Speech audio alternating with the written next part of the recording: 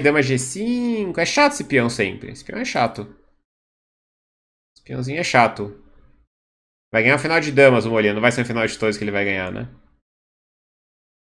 Cravou um H6. H6 depo... devidamente depositado H6 aqui, né? E G2? 2.6 de vantagem? Que isso? Torre A6 podia ser? É isso? Torre A6, né? Ganhava. É, Torre A6 ganhava já. Uh, dama D3. Toma essa. Dama por D3. Mate em 11. E agora, hein? Dama por D3, mate ali. Boa, Roberto.